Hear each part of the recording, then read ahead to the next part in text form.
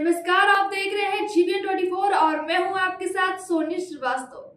जल्दी शहनाई और ढोल नगाड़ों की आवाज़ से राजस्थान का उदयपुर गूंजने वाला है, क्योंकि बॉलीवुड एक्ट्रेस परिणीति चोपड़ा राघव चड्डा के साथ साथ फेरे लेने जा रही है। जी हाँ 24 सितंबर को ये जोड़ा शादी के बंधन में बंधेगा, जिसकी तैयारी जोरों शोरों से शुरू हो चुकी है। आज इस वीडियो में आपको बताएँगे परिणीति चोपड़ा और राघव चड्डा की शादी का वेन्यू लोकेशन और होने वाली दुल्हन का आउटफिट शादी से जुड़ी एक एक डिटेल आज हम आपको बताने वाले हैं। तो चलिए स्टार्ट करते हैं। सबसे पहले बात करते हैं आउटफिट की। इस कपल की शादी भले ही 24 सितंबर को है, लेकिन प्री वेडिंग फ़ंक्शंस दो दिन पहले से ही शुरू हो जाएँगे। हर एक रस्म के लिए एक्ट्रेस ने अलग अलग आउटफिट पहनने की प्लानिंग की है। इसके लिए उन्होंने अपने दोस्त और स्टार डिज़ाइनर मनीष मल्होत्रा को चुना है।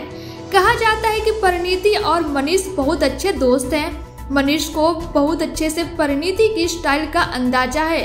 वो कैसे कपड़े पहनना पसंद करती हैं, उनका तरीका क्या है और खासकर वो अपनी शादी में कैसा दिखना चाहती हैं। वो शुरू से ही अपनी चॉइस को लेकर क्लियर थी कि वो मनीष मल्होत्रा ब्राइड बनना चाहती हैं।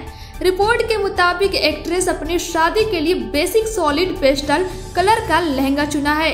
इसे वो स्टेटमेंट ज्वेलरी के साथ मैच करेंगी। तो वहीं सुरक्षा की बात करें तो ये कपल अपने अपने परिवार के साथ 22 सितंबर को उदयपुर के लिए रवाना होंगे। हल्दी मेहंदी के रस्मों के बाद 24 सितंबर को शादी करेंगे। इस वीआईपी शादी को लेकर होटल मैनेजमेंट भी अलर्ट पर है। शादी के लिए विशेष तौर पर सुरक्षा की व्यवस्था की गई है। दो दिनों के दौरान कर्मचारियों को किसी भी सूरत में होटल के अंदर स्मार्टफ़ोन ले जाने की पाबंदी रखी गई है। 50 से ज़्यादा लग्जरी गाड़ियों समेत 120 से ज़्यादा लग्जरी टैक्सियों को बुक किया गया है। आपको बता दें, शादी से जुड़े ज़्यादातर मेहमान 23 सितंबर को ही उदयपुर पहुँचेंगे।